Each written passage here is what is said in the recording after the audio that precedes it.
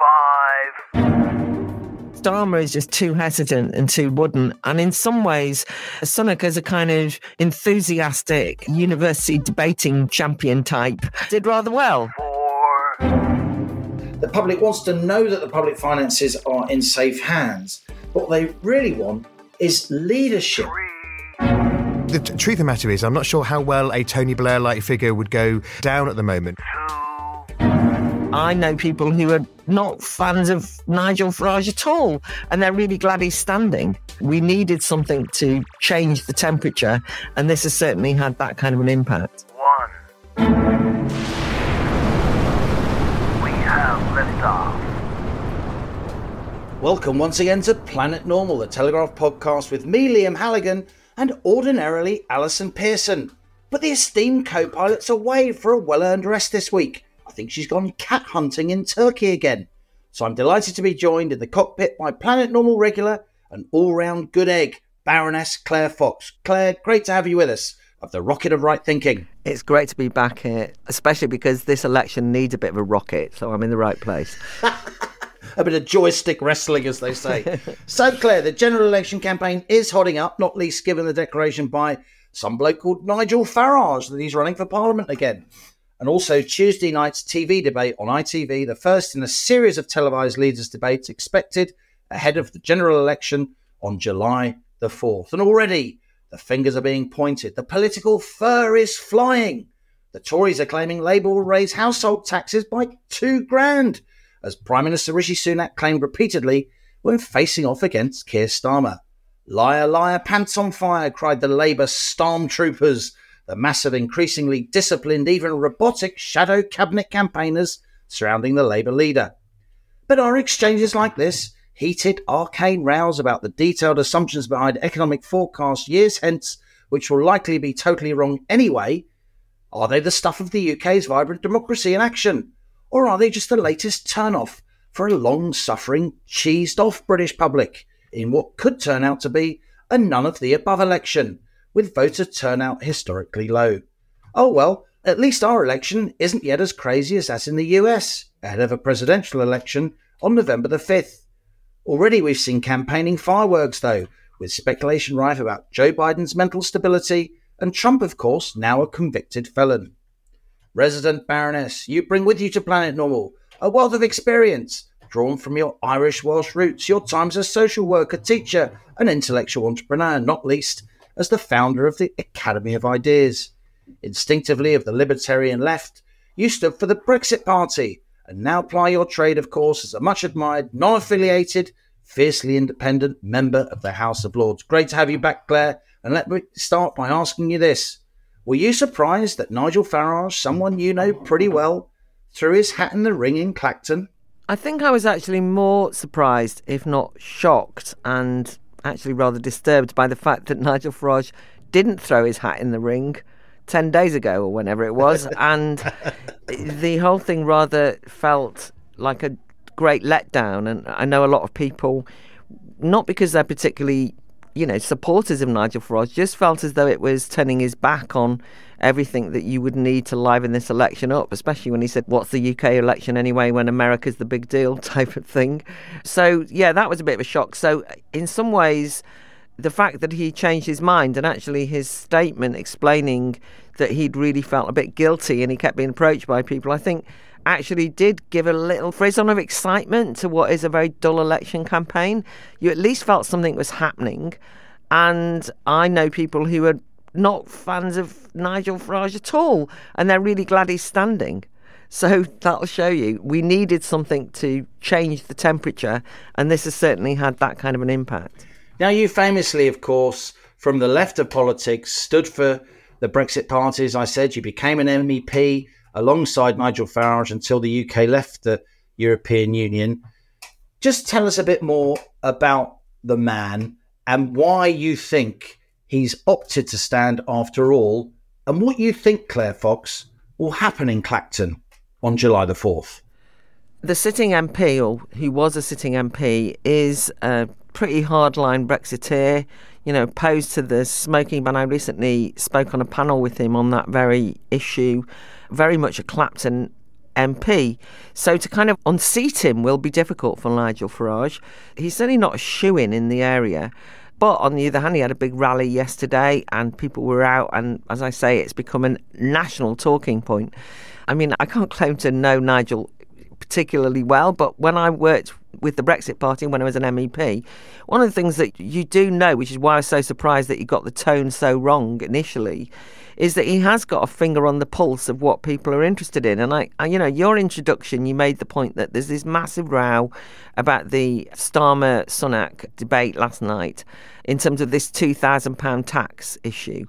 And after you've heard it for about two minutes, you just want to fall asleep. And it seems completely to miss the mood of the moment, which is people are concerned about a massive range of issues. And it's not just the economy, stupid, or anything else. It's the whole cultural disorientation that people feel about debates around whether it's massive demonstrations on the streets of London regularly, two tier policing, worries about immigration, concern about housing, all sorts of things just to reduce it down to such a technical matter of the whether the two thousand pound is accurate is something that I think Farage would never do. And that's to go back to him. He's got a bit more of a temperamental sense of the fact that you need to have a different conversation. You know, I so concur with what you're saying, and I'm the bloke who actually reports in detail on all these kind of weird rows about fiscal policy. Let's be completely clear. What are they arguing about? Rishi Sunak on Tuesday night, as you said, during that ITV debate, he kept wielding this new Tory attack line. Labour are going to put your taxes up by £2,000 per household, which sounds like a lot of money. And of course, it is a lot of money. It turns out, though, we learned on Wednesday morning, a cabinet minister, under pressure from an interviewee, was forced to admit that £2,000 is actually over four years. It's not per year. Okay, it's still a lot of money. It then turns out that Tories who said that these were Treasury numbers. Uh, well, the permanent secretary of the Treasury has something to say about that. While there is some Treasury analysis in these numbers, the Treasury PermSec, obviously somebody who is presented as completely scrupulously neutral, particularly during election campaign. The Treasury PermSec issued a public letter saying this is not entirely Treasury analysis and it shouldn't be presented as such. Now, as you say, even though I'm obviously seriously interested in economics and have a certain fluency, I think it's fair to say, with all these issues, I just know this isn't connecting with the public when they're watching. Because in the end, these are forecasts three, four, and five years hence. And economic forecasts are nearly always blown completely off course, particularly when you're talking about particular highways and byways of the intricacies of the national accounts. And for Labour and the Tories to be arguing over what are effectively rounding errors in public spending, you know, in 2028 and 2029, based on what they might do if they possibly get into government, I don't think the public wants that. The public wants to be reassured that both the main parties, all the parties, if they get into power, will be responsible with our public finances, not least because our public finances are in an incredibly weak position, particularly compared to say 1997. National debt then was 30% of GDP. Now it's almost 100% of GDP. Interest rates are sky high in the sense that the government's spending 40, 50 billion quid a year on debt interest. The public wants to know that the public finances are in safe hands. What they really want is leadership. They want a sense of where we're going as a country and what Labour and the Tories are going to do specifically that's going to help themselves and their family. And this endless arcane fighting about technical assumptions behind even more technical economic forecasts, it's a complete turnoff. Completely. And if you're going to focus on the state of the economy, what you want to hear from that leadership is not only just the discussion that you've just initiated so interestingly about public finances and the kind of things that people might be interested in, but you want to have a sense that there's a plan for creating a dynamic economy. The way that the £2,000 is bandied round, it was as though they think that the voters only care about pounds and pence in a technical sense. Yeah. Whereas, of course, people need money, but they want to know that, well, is there going to be new industry? Is there going to be jobs created? And the things that cost money, for example, what's going to happen about social care? the kind of things that worry people about not having enough money or what's going to happen to the kids not being able to buy a house? What's happening to the rented sector? Is there going to be any social housing? So I'm not suggesting that you only discuss kind of the big culture wars issues that I'm interested in. You should discuss the economy. That's what leadership would mean, but not in the sense of them trying to bribe almost the voters or say they'll steal your money, they'll take your money, we'll give you a bit more money, because that's because they can't believe that voters think anything other than you know, pounds and pence in a very narrow technical fashion. They got that bit wrong with Brexit, if you remember. They were forever saying, oh, you know, we leave the EU, you're going to be worse off. And people said, yeah, thank you, we're leaving anyway. There's more important things than that. And you mentioned that, you know, political shorthand, the economy's stupid. That was, of course, the phrase used by James Carville, Bill Clinton's legendary political advisor, when the comeback kid from Arkansas was gunning for the White House at Racy One, of course. And I've spoken to James Carville about this big clanky name drop, but it's true. And what he was talking about, we forget. He wasn't talking about, oh, you know, hit people on the phones when you're campaigning and on the doorsteps with your latest whizzy economic forecast and your technical assumptions. The economy stupid was about saying to voters, do you feel better off than four years ago? Yeah. Has your life improved under the other lot over the last four years? And if it hasn't, try us, right? It wasn't about we're going to promise you some technocratic sunlit upland and look at my Excel spreadsheet and how plausible it all is. And I've got a nerd's army backing me up. That's not what they were saying. But in recent years, as the cost of living crisis has bit, as politics has been done so much more technocratic. It seems to be like you know forecast wars. Everybody angsting about. All the OBR says that in 2031 you can spend an extra two billion quid. Yeah, this is absurd. This is absurd. That's what's happened. I think that that's the mistake that's happening. Actually, that the Democrats are making in America as well, isn't it? Because Biden's crowd and the Democrats can say, "Look, look at the forecast. We're doing all right. You know, it's not too bad." But if you don't feel it, it doesn't make any difference, right? right. And if you don't trust them, it's not because uh, perception and, and fact are different, but because when they're doing economy by spreadsheet, they're misunderstanding that broader sense of what economic prosperity means. It, it doesn't just mean money. No. It- you have to have a sense that you can trust that your communities are going to be safe, that there is going to be such a thing as community. You worry about the fact that there's so much fragmentation. You worry about the fact that your kids, they're going to school and they're being introduced to anything from, you know, decolonizing the curriculum to mad ideas around you know, multiple gender choices and so on and so forth. That might sound like it's got nothing to do with the economy, but if you want your kids to be educated so that they stand a chance in an economically dynamic economy, you need to know that those things are being resolved. So I think that. Biden and actually, uh, this is a danger of both Sunak and Starmer.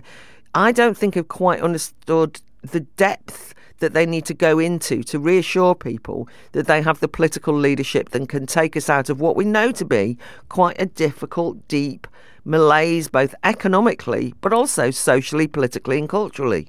I think campaigning by spreadsheets are a, a really good phrase. I think you've captured a lot of what's happening in the UK here. Look, I want to talk to you in detail about what you think the Conservative Party should be doing, what you think the Labour Party should be doing. But while we're at it, you did just mention the states. My column last week in the Sunday Telegraph was about Biden and the economy and the fact that even though the US economy is going pretty well, grew by 3.5% last year, grew by 1.3% the first quarter of this year, outperforming pretty much every Western economy. As you say, the soccer mums and centrist dads of America are not feeling that upside in large part because inflation has been stubbornly high in the States. Inflation in the States is still up around 3.5%. It's gone up a bit in recent months rather than down. And expectations that the Federal Reserve, the US central bank, will be cutting rates three times in 2024. That was their own words, very much signaling to the market that multiple rate cuts were coming.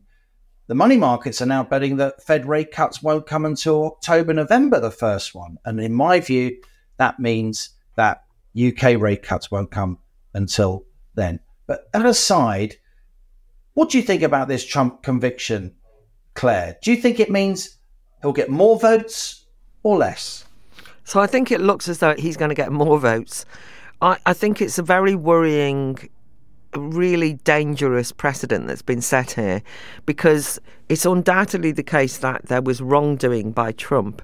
But it's also the case that even if you're critical of Trump, you can see objectively that this was potentially a politicized use of the law, lawfare as people have called it, to destroy a democratic choice being offered to the American people. And guess what? The American voters have responded by saying, well, we're not going to allow you to do that. And so Trump's support has gone up as a consequence. The idea that he's a felon, that's a, a, a felon is a, a, a, serious accusation. And you've mentioned Bill Clinton. If you look at the sordid story of Bill Clinton and his affair and paying people off and all the rest of it, it's grim and it was grisly and it seems like the Trump affair, right? So the idea that this is something when you call somebody a felon, you hold them to account in a law court, when nobody can see that this was a felony in all seriousness, makes a mockery of the use of the law courts. And the judiciary, I think, have lost a huge amount of credibility. So I can't tell you how much I can't stand Trump, Donald Trump, right? And I wouldn't want the choice of Biden or Trump myself. But that's not the point. The point is, is that in a democratic election, he should be dealt with at the ballot box, not by people playing fast and loose with the law just because they've got the power of the judiciary behind them. Claire, when we were kids, Starsky and Hutch aired in America. It came here. Skateboards cropped up in America. They came here.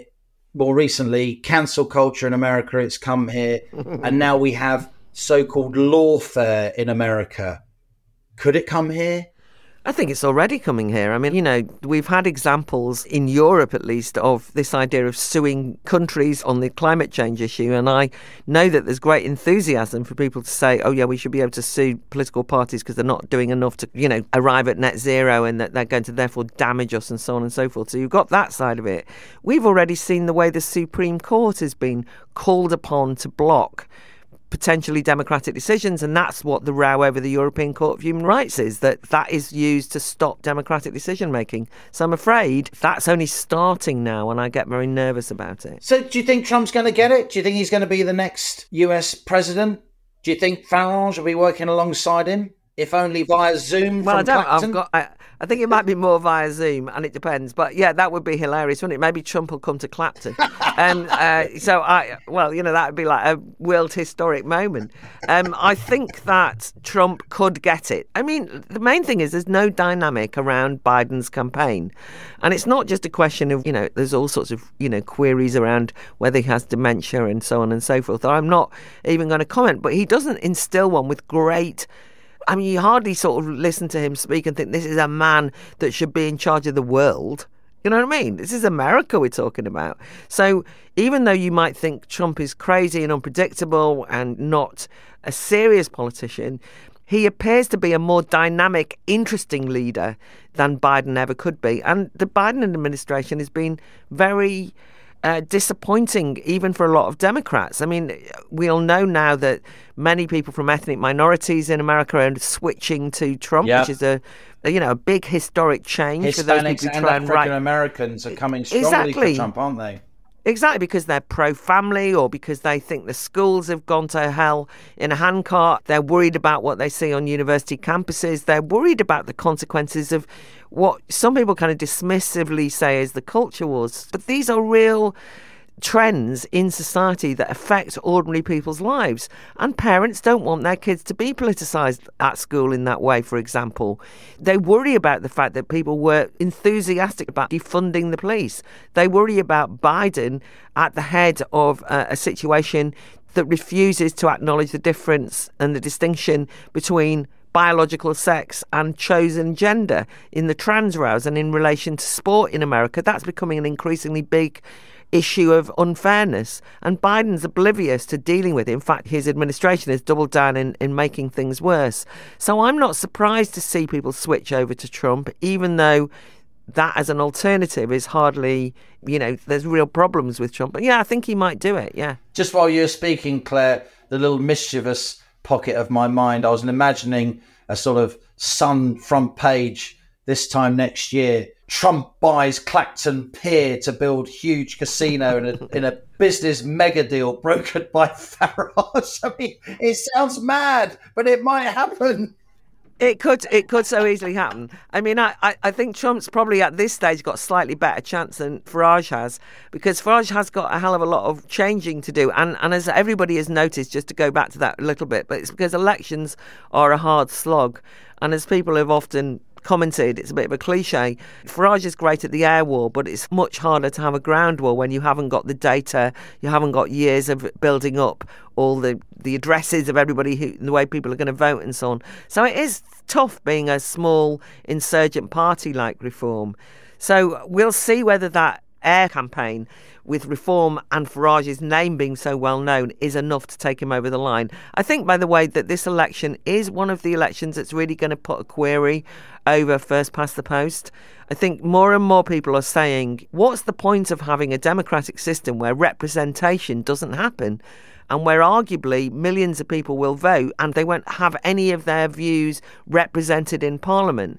And that is dangerous because it can make people cynical and nihilistic about the project of democracy per se, which is a very dangerous situation to be in, I think. And as you say, Reed Clacton, the local Tory incumbent, Giles Watling is a highly respected local guy. He's been living in Clacton for a long time. So Nigel Farage certainly got his work cut out. And how interesting now in British politics. You've got an alliance forming, a highly unlikely alliance between the Lib Dems and the Greens on the one hand, and Nigel Farage's Reform Party on the other, as you say, for proportional representation. I've obviously seen a lot of Nigel Farage over recent months and years at GB News, and we talk a lot about voting systems and the potential implications of reform of first past the post. A very, very interesting set of issues post election, as you say, Claire.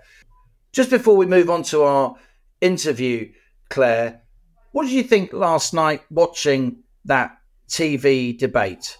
How do you think Sunak did? Because most pundits, even through gritted teeth, say that he won. Yeah, no, I think he did win because I think that Starmer is just too hesitant and too wooden. And in some ways, uh, Sunak is a kind of enthusiastic university debating champion type, did rather well.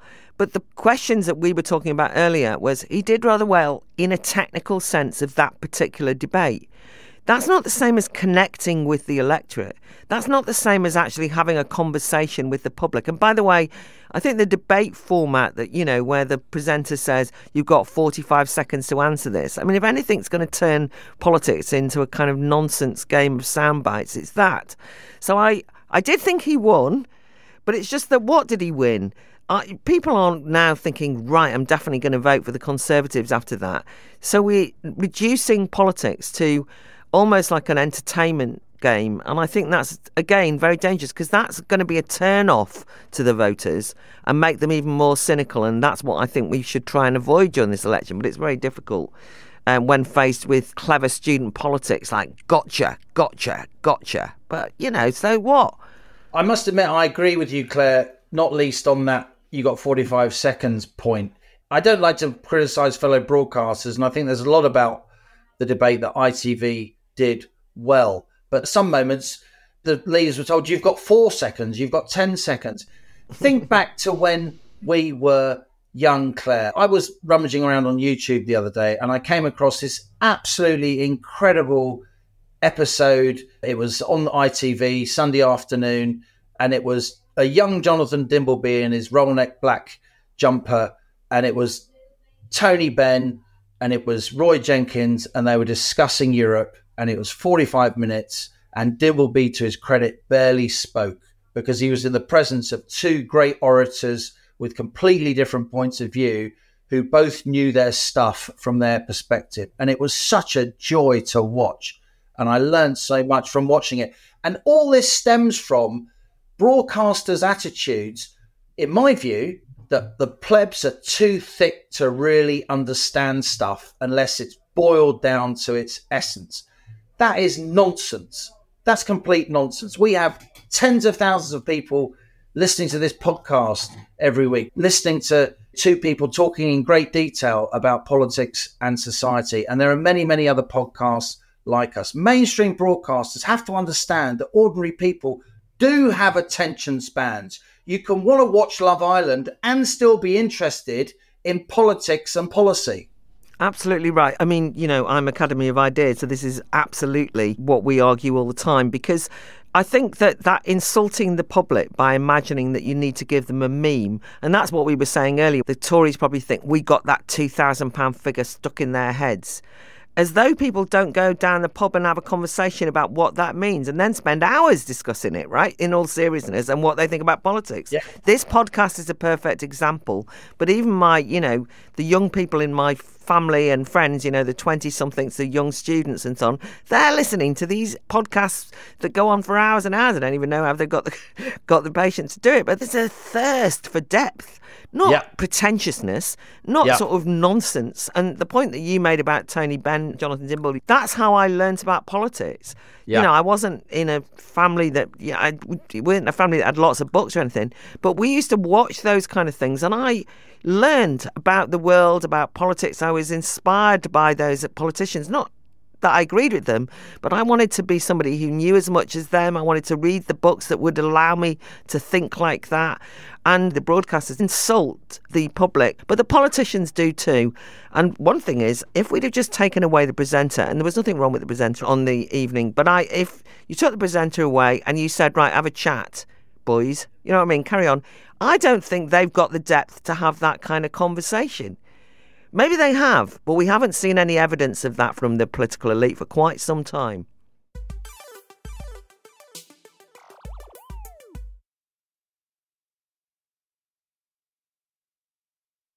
Now, we're a broad minded bunch on Planet Normal, which is why we bring you voices from across the political spectrum.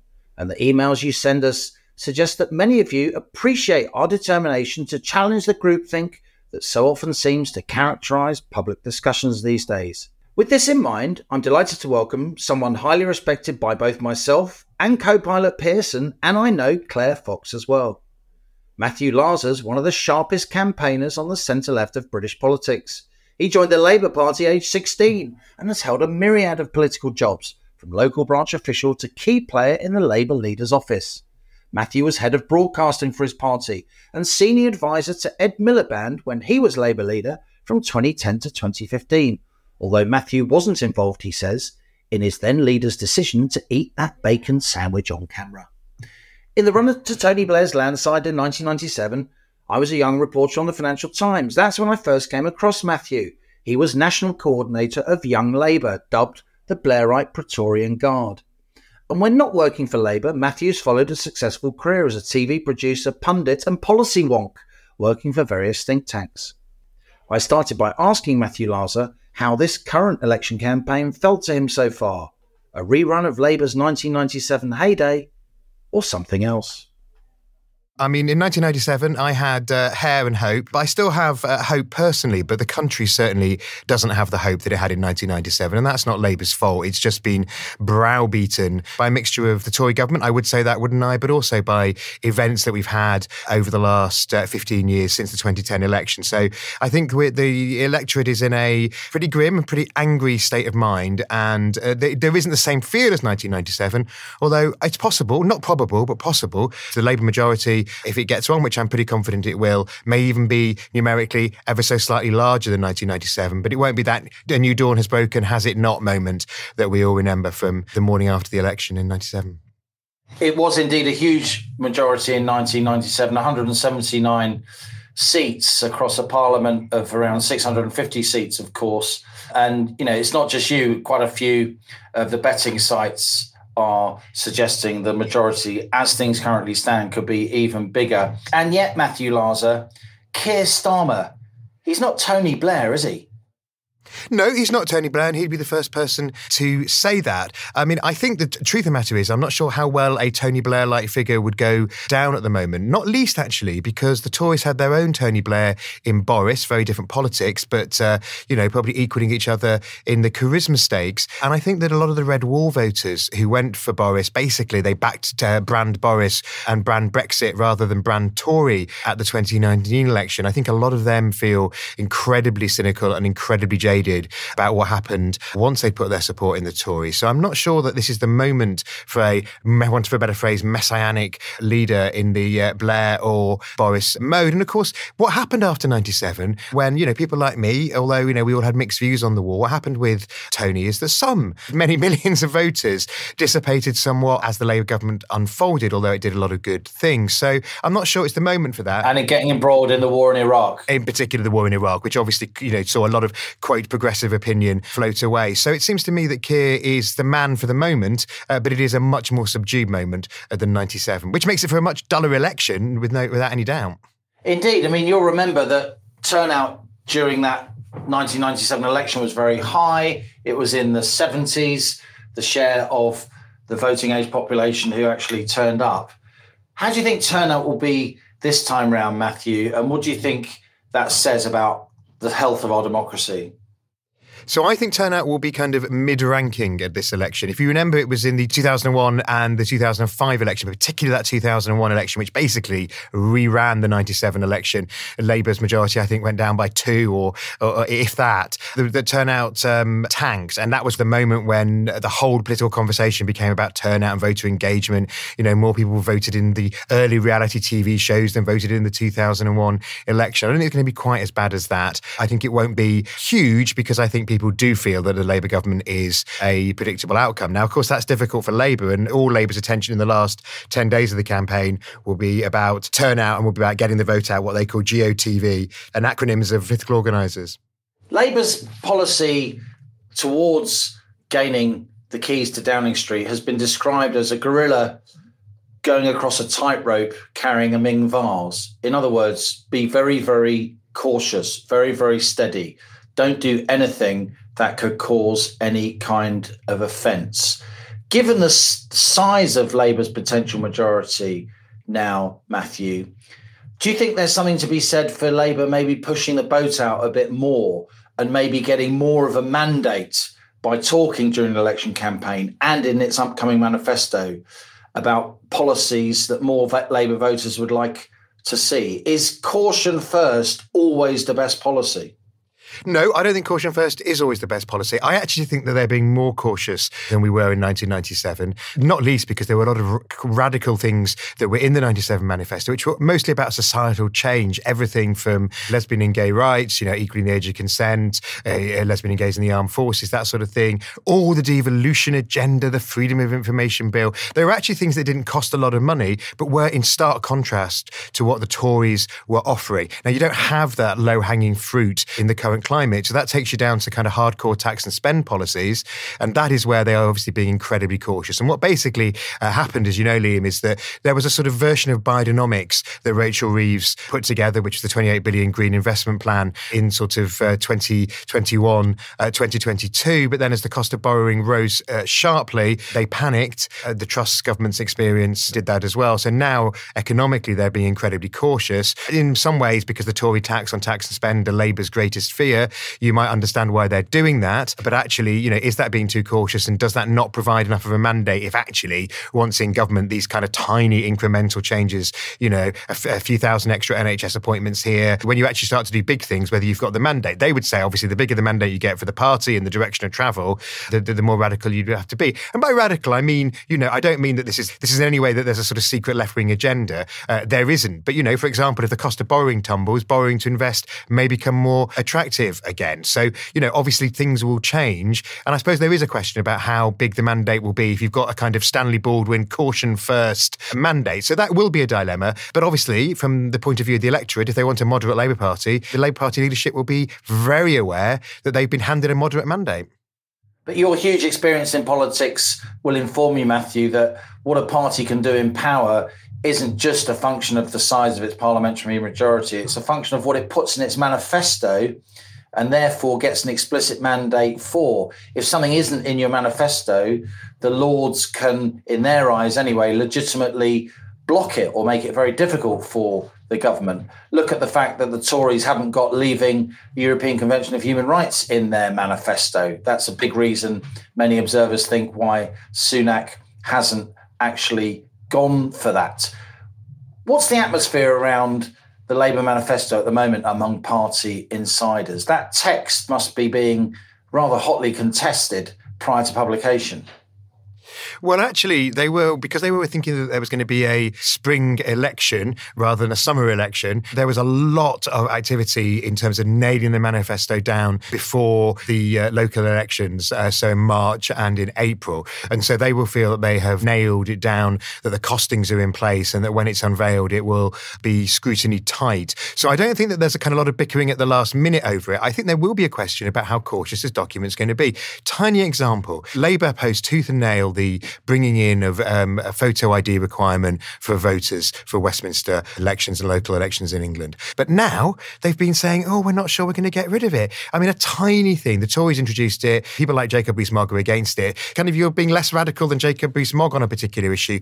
That begins to worry me. So I think that they need to make sure there is enough interesting stuff in the manifesto that isn't just the very, you know, nailed down tax and spend things, but also the on things which aren't going to cost a fortune, but which can show the direction of travel and that the Labour government is going to have a more radical tinge. Because I do think that Labour is in danger of stoking up and building up a big issue to its left. We haven't heard too much from the election campaign, but the Greens, you know, are still polling at least at the same as the Lib Dems. And, uh, you know, the, the fact that they are poised to capitalise or if the Labour government seems to be Tory light with those voters on the left could well become an issue once Labour gets elected. And frankly, it will be a bit of an issue in the election results itself. People, you know, obsessed with reform's impact on the Tory vote almost nobody's talking about the Green impact on the Labour vote. My personal instinct is actually the Greens gaining a, you know, a couple of thousand uh, in a few seats might mean that that just takes 20, 30 off the Labour majority once you're talking about a majority into three figures.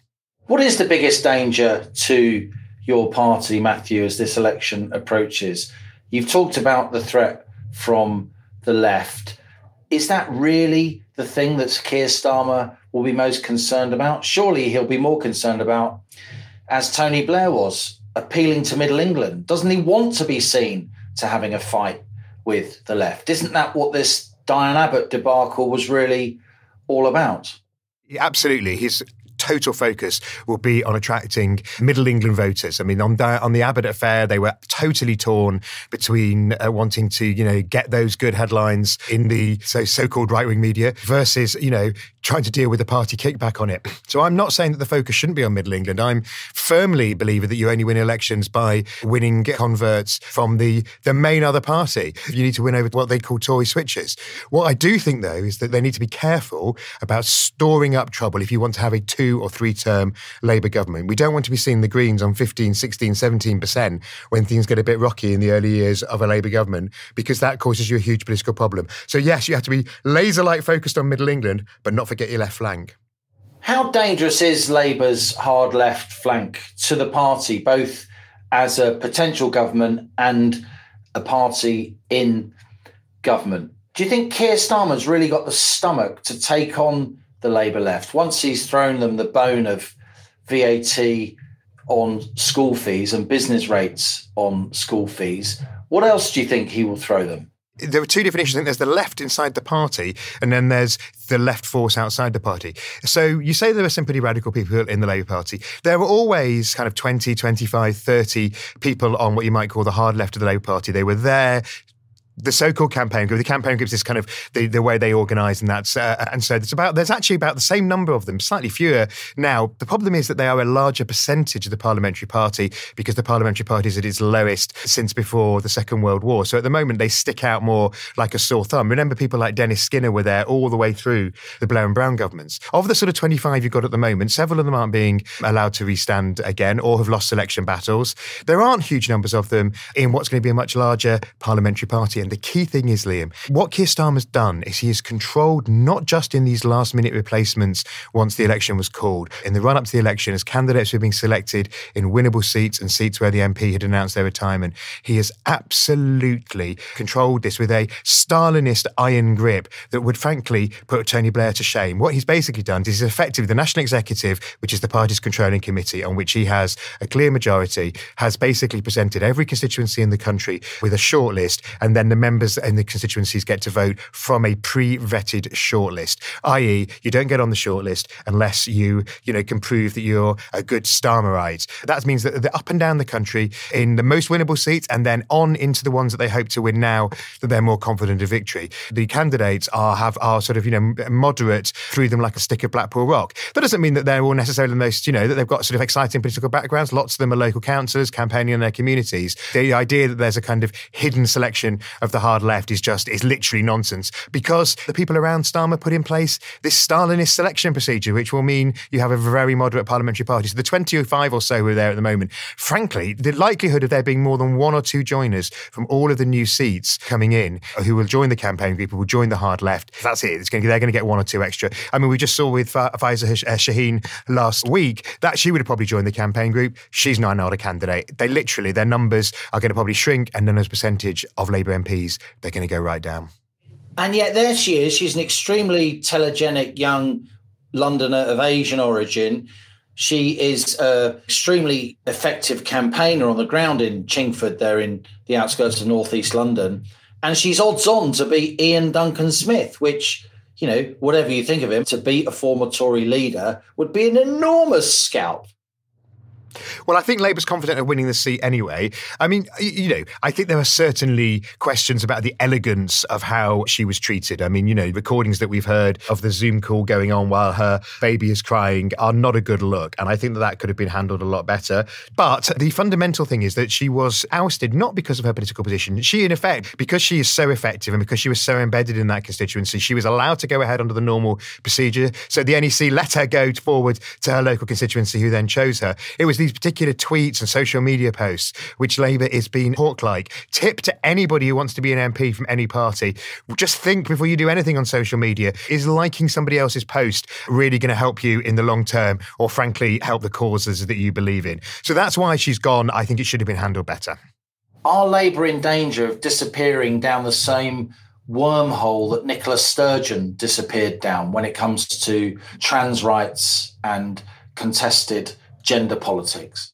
Well, I think the answer is no, not if the leadership can help it, but how much pressure will there be on the leadership after the election? I actually think that, that, that this is your, this is a really key area because this is probably, in terms of what you might call left-right issues, the one that's going to be most contested because there are a lot of advocates uh, for transgender rights who certainly wouldn't regard themselves uh, as on the hard left of the party. And the issue is is how strongly the mainstream LGBT lobby, like Stonewall, which obviously has sympathy of a lot of uh, Labour MPs of all shades of party opinion uh, has. But is Stonewall mainstream, Matthew? Surely mainstream are the hundreds of thousands, I would say millions of particularly middle aged women who are natural Labour voters who are utterly furious that your leader can't actually say what a woman is. Well, he can now after his sort of, you know, embarrassment. And that was clearly a communications disaster. And that is one of the issues with this is kind of middle aged straight men have traditionally been a little embarrassed over some of these issues. Uh, you're talking to the man who had to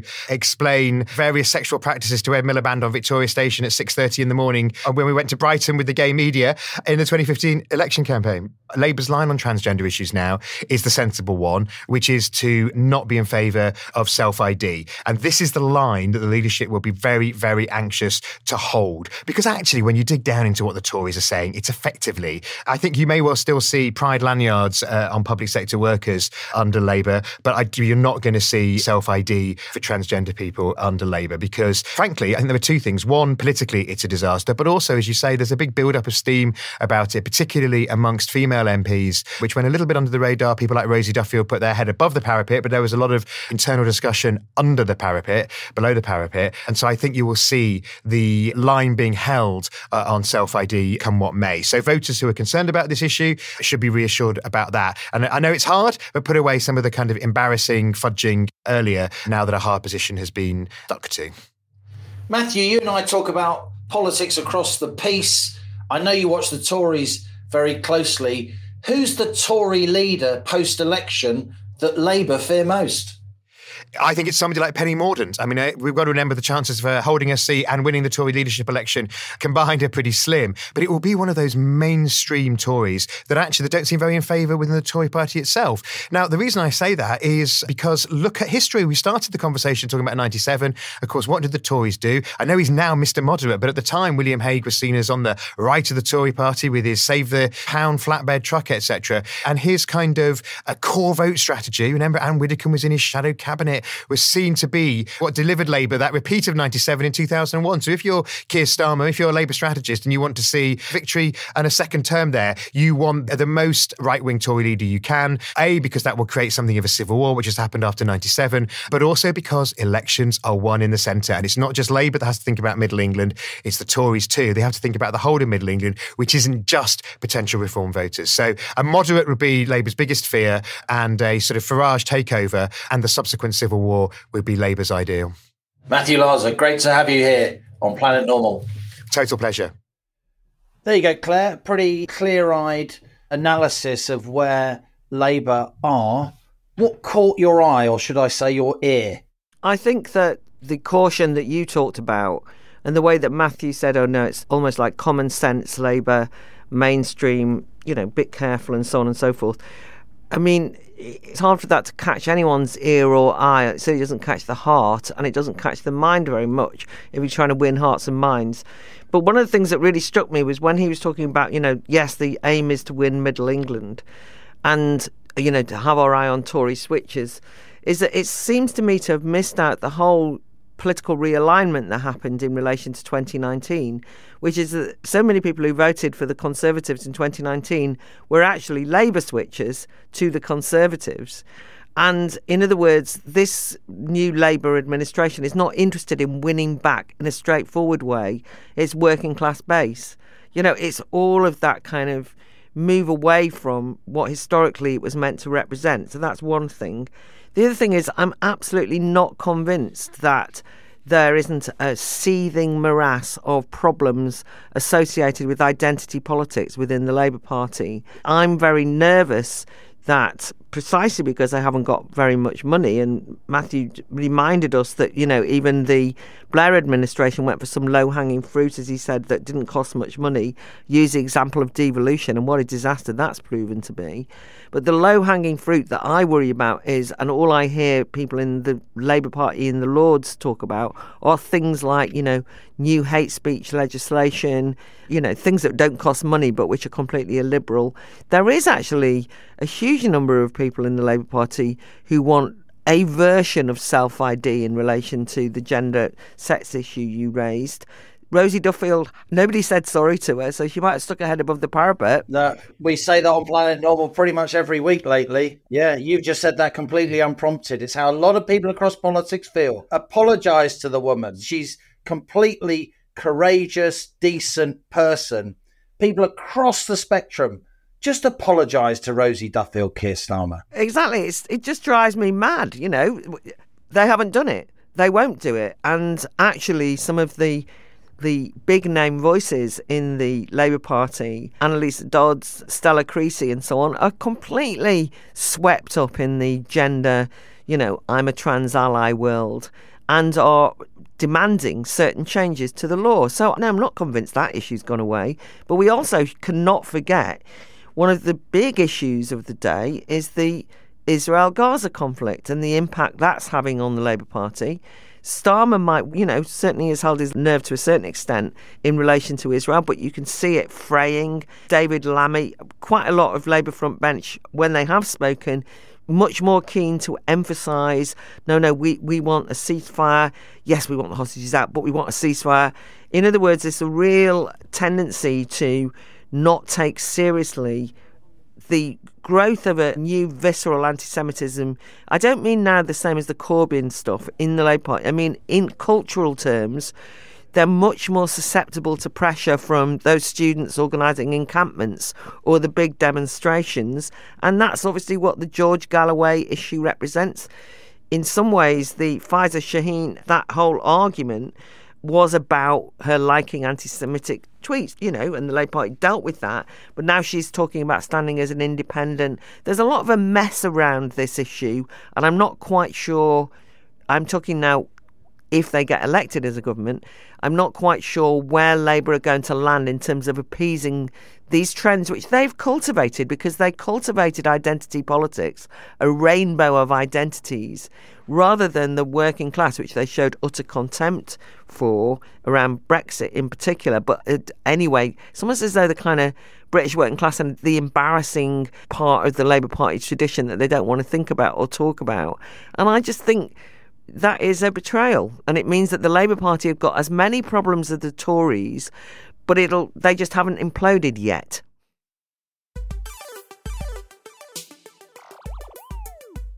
Now on to our listener emails. Your messages sent to planetnormal at telegraph.co.uk. Please keep them coming.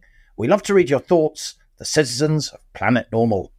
This is from Tom on the theme often highlighted on Planet Normal the high prices paid by UK firms and households for gas and electricity.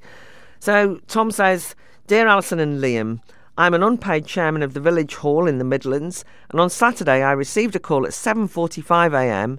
The burglar alarm was going off due to a power spike. Power spikes are common due to the multiplicity of electricity sources required to keep the grid energised and the constant switching between wind, solar, Belgian coal, French nuclear, UK gas, etc., etc. And as a lad, I lived around here, and within a few miles of three Trent Valley fire, sorry, coal-fired stations and numerous coal mines. And these power spikes never happened in the 80s, 90s, and the noughties. The mines and power stations are now long gone. So my village hall's finances are crippled by expensive electricity. Some members of our local community can't afford to heat their houses. So we received a £3,000 grant from the power industry to run a warm space soup kitchen from January to March of this year. A local solar farm has been built so it can be connected to the national grid adjacent to the abandoned power stations. The equipment was doubtless produced in China, where they are still building countless new fa- coal fired power stations. So, food production has fallen in a country already reliant on food imports and offering little sunshine during the winter when we face peak electricity demand. This huge solar farm is now also giving grants to local charities, funded by the green taxes on everybody's electricity bills that we can't afford to pay. This is insanity, piled upon insanity. Please, please, please let this end, Tom. Strong email there from Tom. This is from Roberta, not her real name, for reasons that will become obvious. We had a grandson, writes Roberta, who is now a granddaughter. She transitioned just as she entered puberty. This was some 13 years ago, so at a time when her school didn't support her. In fact, her mother engaged in legal action to get the school to accept her right to wear girls' clothing and to be addressed as a girl. She would dress outrageously, tiny shorts, micro mini skirts, as if trying to provoke trouble, and even now at age 26, looks to me more like a drag queen than a regular woman. Her mother took her to a clinic in London to get puberty blockers. As a boy, she always had her head in a book and was clearly intelligent, got a place at university, but dropped out, and over the years, she's been involved in drug taking and internet porn. Her world now revolves around the trans community, and she rarely visits her hometown and relatives. We disagreed privately with her mother championing her because it was clear to us that the first step should have been serious psychiatric help, not a cursory interview at the clinic. Her mother separated from the father when the boy was about seven and there was some talk of abuse on custody visits, either exposure to pornography or actual physical harm. We never got quite the full story. We're convinced this led to a revulsion with her body and a fear of what puberty would bring. With proper help, she might have had a regular, fulfilling life, instead of resorting to drugs to dull the pain. What I'm trying to say, writes Roberta, is that the dearth of mental health support for children means that fears that could be confronted are not being addressed, so are now being exploited by vociferous trans pressure groups. We've always been supportive of her and have never criticised her choice, but we feel she was seriously let down by the system. I've changed my name, writes Roberta, and not mentioned names nor locations to protect our dear granddaughter's privacy. Honestly, Liam, that was heartbreaking from Roberta, a tale of our time, and I wish that family good luck. This is a letter here from Charles on the pressure from some public sector unions that civil servants should work four days a week instead of five. Charles says, Dear Alison and Liam, if civil servants and council employees claim that they can do all their work in four days rather than five, surely a sensible management strategy would be to fire 20% of them and ask the rest to work as efficiently for five days. This novel approach would save money and would help to reintroduce the concept of actually working for a living. Taxpayers would benefit, the councils would be more popular, and a small amount of common sense would have emerged. It's been a long time since I last studied economics, but as far as I can see, this novel approach wouldn't frighten the horses. Indeed, it could even be rolled out in the management suites of the NHS to good effect. Meanwhile, what on earth is going on with the Conservative Party candidate selection process? There seems to be no criteria of character, intelligence, or basic common sense. So keep up the good work. I wish Planet Normal well and hope you continue to thrive in a universe where debate, politeness, and common sense prevail. All the best, Charles. This is from Steve. Dear Alison and Liam, thanks for the sanity of Planet Normal, a weekly treat. On the hot topic of immigration, I urge advocates for much stricter control on legal immigration not to throw the baby out with the bathwater. What I mean, says Steve, is that if, and it's a big if, legal migration is slashed to the tens of thousands, it could destroy some families. For example, my wife, who's from Thailand, is on a 10 year road to British citizenship. It's a painful, slow, and expensive process. She has worked her way up from being a bar staff in a pub in the Highlands to being a receptionist, office administrator, and now a manager at a workspace company in central Glasgow, all in the private sector. She's well liked, respected, admired everywhere she works. She pays full UK taxes and also pays an NHS premium as a foreigner. We own our own house in Glasgow. I have my own small consultancy. Our three sons live with us. Two are working, one still at school. Every two and a half years, my wife also pays around £1,500 to the government and the NHS for a continuation of her leave to remain and work in the UK. As far as I'm concerned, my wife's an exemplary and aspiring UK citizen, as well as the cornerstone of our family. Her contribution to the UK is net positive by a country mile. If legal immigration is slashed arbitrarily to the tens of thousands, would my wife make the cut? Or would she and hundreds or even thousands of hard-working, law-abiding, mixed marriage families like ours be sacrificed to some arbitrary immigration target? Any immigration system does need to be run on a fair minded, points based system. Arbitrary immigration targets sound attractive, writes Steve, but in re- reality, we need fairness first. A belief in family fairness and making a positive contribution to society is still the British way, isn't it? I actually think Steve raises some very good points there, Liam. But anyway, this is finally a letter from Harriet. You're welcome back, Harriet. Where have you been? I, I, I was going to say, that's not explained. I don't know whether you've been touring other planets or what. But anyway, yes, welcome back. And Harriet says, I feel like Liam and Alison are holding my hand. That's very nice. And I think we're going to need to hold each other's hands as we navigate through the next few months and years.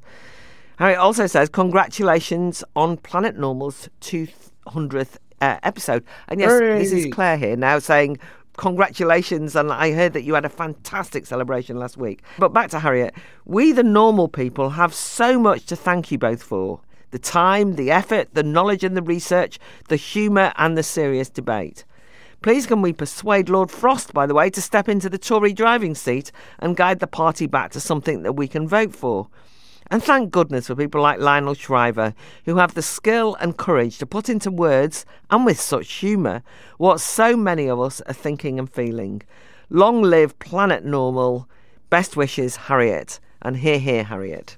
That's kind, Claire, and that's kind, Harriet. David Frost and Lionel Shriver were, of course, our guests at our live event in London last week. Thanks again to everybody who came along to Cadogan Hall and anyone who wants to listen to that live episode. It's a extended 200th episode anniversary special that's released last week as our regular Planet Normal podcast, so you can catch it on our archive. And on that bombshell, that's it from Planet Normal for another week as we leave our sanctuary of sweet reason, our flying refuge of reason views. Email of the week, it's my turn, and I choose Tom who wrote about electricity supply spikes. Tom, please send us your postal address at planetnormal@telegraph.co.uk and a Planet Normal mug will be sent to you. And if you enjoy Planet Normal, please do leave a rating and review on Apple Podcasts or Spotify. It really does help others to find the podcast so the Planet Normal family can grow. And as we speed away from our beloved planet normal, the madness of planet Earth comes back into view. Thanks as ever to our producers, Isabel Bajade, Lampe Casho, and Louisa Wells. And thanks also, of course, to the brilliant Claire Fox for keeping me company this week, helping to steer this rocket of right thinking, this capsule of common sense with such wisdom, good humour, and aplomb. Alison will be back with us next week, presumably with more heavily and expensively certified Turkish street wildlife tucked into her beach bag. We miss you, co pilot and look forward to your sun kissed return. Stay safe and in touch with us with each other until next week. Goodbye from me. And it's goodbye from him, and I will be listening uh, next time I'm on Planet Normal, which I always enjoy.